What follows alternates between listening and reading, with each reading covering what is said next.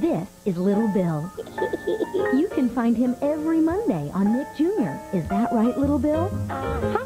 That means every Monday, Little Bill will be conquering the wilderness, or saving the universe, or maybe getting into a little mischief. Was that you, Little Bill? Nuh-uh. Join Little Bill every Monday. Anything else? Excuse me. Little Bill, today at 11.30, 10.30 Central on Nick Jr. Just for me.